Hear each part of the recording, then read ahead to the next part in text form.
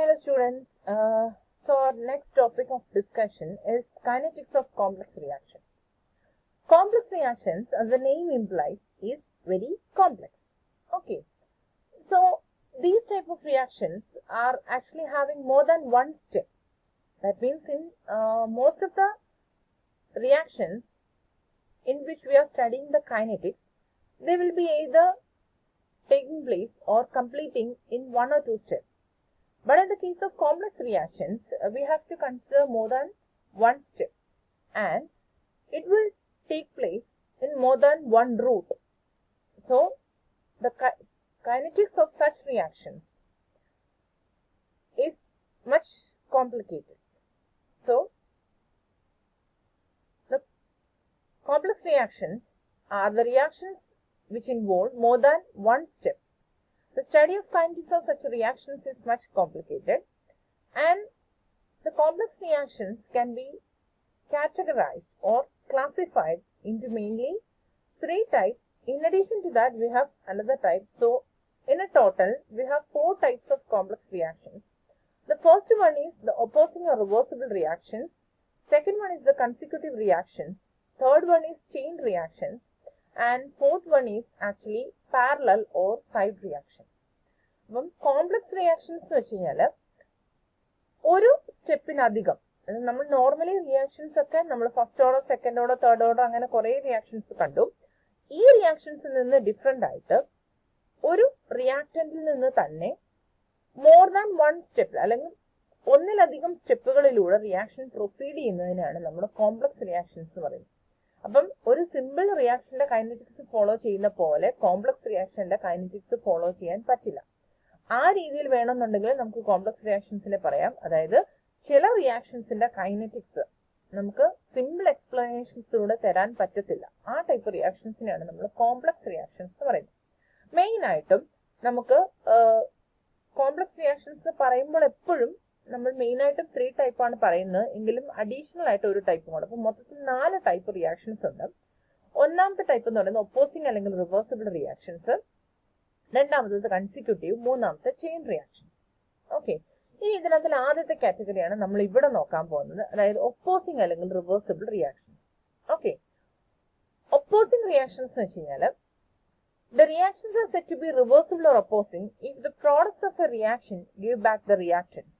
അപ്പൊ നമ്മൾ ഒരു റിയാക്ഷൻ കൺസിഡർ ചെയ്ത് കഴിഞ്ഞാൽ for example A giving B ആ റിയാക്ഷന്റെ പ്രോഡക്റ്റ് നമ്മൾ എ ടു ബി ആകുമ്പോഴത്തേക്ക് ബി ആണ് അവിടുത്തെ പ്രോഡക്റ്റ് പക്ഷെ ഈ ബി തന്നെ തിരിച്ച് എ ആയി കൺവേർട്ട് ചെയ്യുന്ന റിയാക്ഷൻസ് ആണ് നമ്മൾ റിവേഴ്സിബിൾ റിയാക്ഷൻസ് എന്ന് പറയുന്നത്. ഈ റിവേഴ്സിബിൾ റിയാക്ഷൻസിന് തന്നെയാണ് നമ്മൾ ഒപ്പോസിംഗ് റിയാക്ഷൻസ് എന്ന് പറയുന്നത്. കാരണം വെച്ച് കഴിഞ്ഞാൽ ഒരു ഡയറക്ഷനിൽ നടക്കുന്ന റിയാക്ഷനെ അതിന്റെ ഓപ്പോസിറ്റ് ഡയറക്ഷനിൽ നടക്കുന്ന റിയാക്ഷൻ എന്ത് ചെയ്യുന്നു? Oppose ചെയ്തുകൊണ്ടേയിരിക്കുന്നു. Okay so the reaction may proceed to a state of equilibrium that differs appreciably from the completion അപ്പൊ നമ്മൾ എപ്പോഴും ഒപ്പോസിംഗ് അല്ലെങ്കിൽ റിവേഴ്സിബിൾ റിയാക്ഷൻസിന്റെ കേസിൽ നമ്മൾ കൈനറ്റിക്സ് എക്സ്പ്ലെയിൻ ചെയ്യാനായിട്ട് കൺസിഡർ ചെയ്യുന്ന ഫാക്ടർ എന്ന് പറയുന്നത് that means there exist an equilibrium or there will be a state of equilibrium okay Then the kinetics of such reactions are usually studied in the initial stages of the process when the products are too low, are, are at too low concentration to set up the opposing reactions at a noticeable rate. Initially, the rate of forward reaction is very large, which decreases with time. But the rate of backward reaction is initially very low, which increases with the passage of time. After a time, a stage is reached where the rate of forward and backward reaction become equal. This stage is called the equilibrium. So, in the case of opposing reactions, നമ്മൾ പറയുന്നത് വെച്ച് കഴിഞ്ഞാൽ opposing റിയാക്ഷൻസിന്റെ kinetics പഠിക്കാനായിട്ട് നമ്മൾ എപ്പോഴും നമ്മൾ ഏത് റിയാക്ഷൻസിന്റെ ആയാലും കൈനറ്റിക്സ് പഠിക്കാനായിട്ട് സ്ലോ സ്റ്റെപ്സിനെയാണ് കൺസിഡർ ചെയ്യുന്നത്. ഇനി ഒപ്പോസിംഗ് റിയാക്ഷൻസിന്റെ കേസിലാണെന്നുണ്ടെങ്കിൽ ഇനീഷ്യൽ സ്റ്റേജിൽ ഇനീഷ്യൽ സ്റ്റേജിൽ നമ്മുടെ പ്രോഡക്റ്റിന്റെ കോൺസെൻട്രേഷൻ വളരെ കുറവായിരിക്കും. അപ്പൊ അതുകൊണ്ട് നമ്മൾ ആ ഇനീഷ്യൽ സ്റ്റേജസ് ആയിരിക്കും കൺസിഡർ ചെയ്യുന്നത്. ഇനി ഇതിന്റെ റിവേഴ്സിബിൾ റിയാക്ഷൻ ആണ് കൺസിഡർ ചെയ്യുന്നുണ്ടെങ്കിൽ അവിടെ എന്തായിരിക്കും? നമ്മളുടെ എ ഗിവിംഗ് ബിയിൽ ആദ്യത്തെ കേസ് ആണ് കൺസിഡർ ചെയ്യുന്നതെന്നുണ്ടെങ്കിൽ ബിയുടെ കോൺസെൻട്രേഷൻ വളരെ കുറവായിരിക്കും. ഇനി രണ്ടാമത്തെ അതായത് ബാക്ക്വേർഡ് റിയാക്ഷൻ ആണ് നമ്മൾ എടുക്കുന്നതെന്നുണ്ടെങ്കിൽ അവിടെ എന്തിന്റെ കോൺസെൻട്രേഷൻ കൂടുതലാണ്? ബിയുടെ കോൺസെൻട്രേഷൻ കൂടുതലായിരിക്കും. ഓക്കെ അപ്പൊ അങ്ങനെ സംഭവിക്കുമ്പോഴത്തേക്ക് നമ്മൾ പറയുന്നത് എ ടു ബി എന്ന് പറയുന്ന ഒരു റിയാക്ഷന്റെ കേസിൽ ഫോർവേഡ് റിയാക്ഷന്റെ റേറ്റ് എന്ന് പറയുന്നത് ആദ്യത്തെ കേസിൽ വളരെ ലാർജ് ആയിരിക്കും. അത് പിന്നീട് എന്ത് ചെയ്യുന്നു? പ്രോഡക്റ്റ് ഫോം ചെയ്ത് ഫോം ചെയ്ത് വരുന്ന അനുസരിച്ച് ആ ഫോർവേഡ് റിയാക്ഷന്റെ റേറ്റ് കുറഞ്ഞുകൊണ്ടേയിരിക്കും.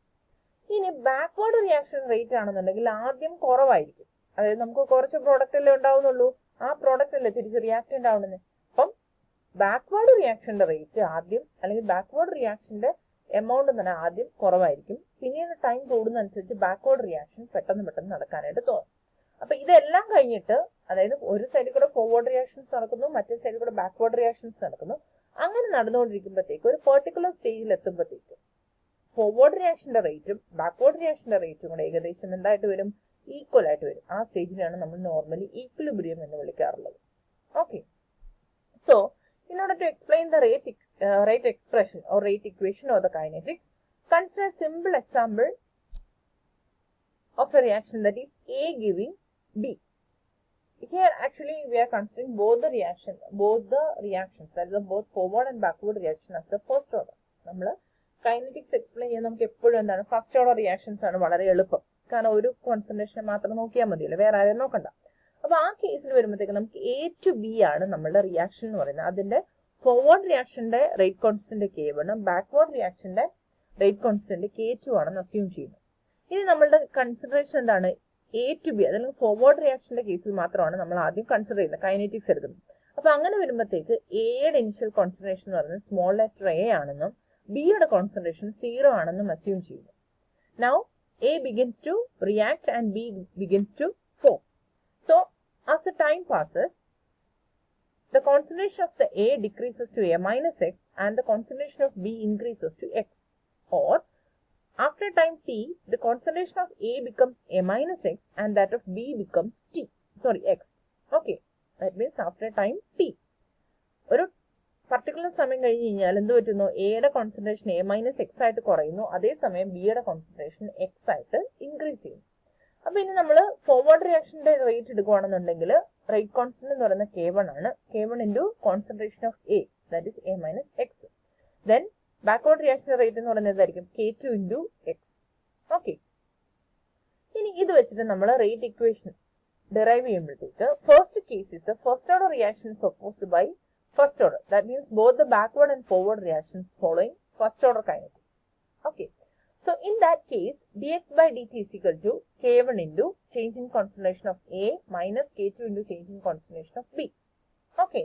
ഇനി നമ്മൾ കൺസിഡർ ചെയ്യുന്ന ഒരു കേസ് എന്ന് വെച്ച് കഴിഞ്ഞാൽ ഒരു പർട്ടിക്കുലർ സ്റ്റേജിൽ നമ്മൾ പറഞ്ഞല്ലോ ഇക്വിലിബ്രിയത്തിൽ എത്തും എന്ന് പറഞ്ഞല്ലോ. അപ്പൊ അങ്ങനെ ഇക്വിലിബ്രിയത്തിൽ എത്തുമ്പോഴത്തേക്ക് അവിടുത്തെ കോൺസെൻട്രേഷൻ അതായത് equilibrium concentration of the product എന്ന് പറയുന്നത് എക്സ് ഇ ഇ എന്ന് റെപ്രസെന്റ് ചെയ്യുന്ന ഇക്വിലിബ്രിയത്തിൽ ഇ ആണ്.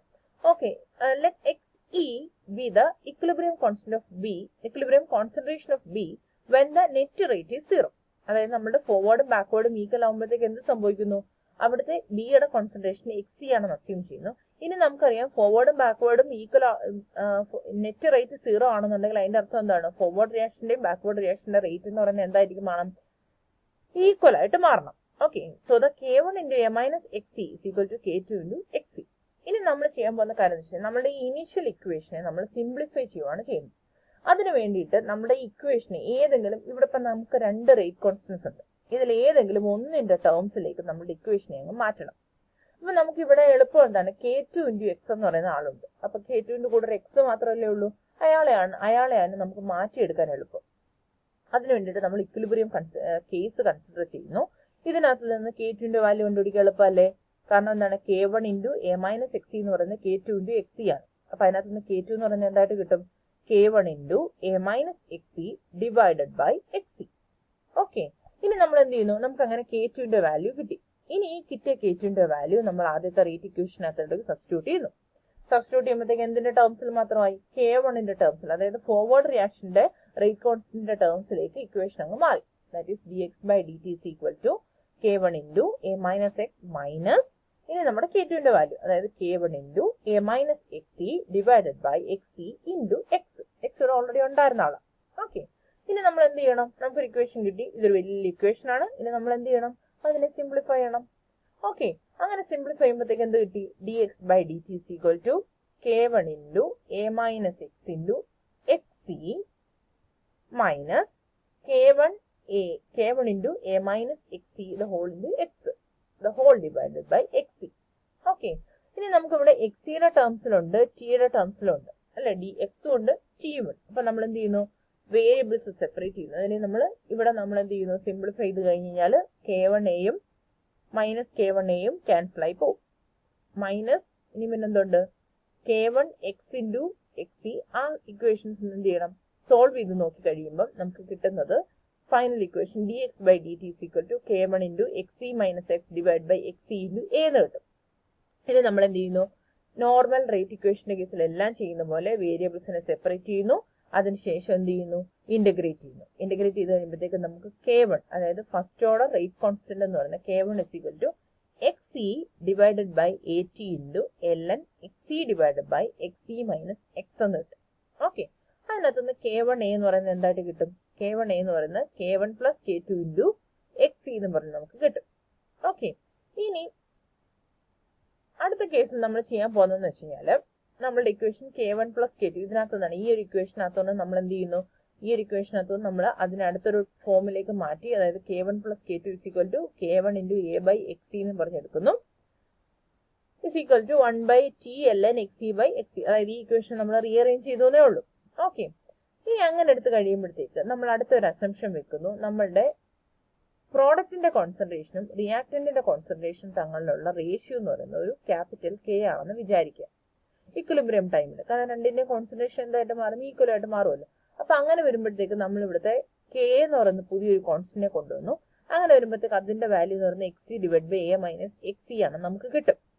ഓക്കെ അപ്പൊ ഇനി എന്ത് ചെയ്യുന്നു? അതിനകത്തുനിന്ന് നമുക്ക് K A minus K X is equal to X C എന്ന് പറഞ്ഞ് കിട്ടും. അപ്പൊ നമുക്ക് ഇവിടെ എന്ത് കിട്ടി? എക്സ് സിയുടെ വാല്യൂ കിട്ടി. ഓക്കെ ഇനി നമ്മൾ ആ ഇക്വേഷൻ ഇവിടെ നമ്മൾ എക്സ് സി മൈനസ് എക്സ് ആ വാല്യൂ ഉണ്ടല്ലോ. അതിങ്ങോട്ടേക്ക് സബ്സ്റ്റിറ്റ്യൂട്ട് ചെയ്തപ്പോഴത്തേക്ക് നമുക്ക് എക്സ് സി ബൈ എയുടെ വാല്യൂ എന്ന് പറയുന്നത് കെയുടെ ടേംസിലേക്ക് കിട്ടും. ഓക്കെ ആ ഇക്വേഷൻ നിങ്ങൾ സബ്സ്റ്റിറ്റ്യൂട്ട് ചെയ്ത് എഴുതി നോക്കുക.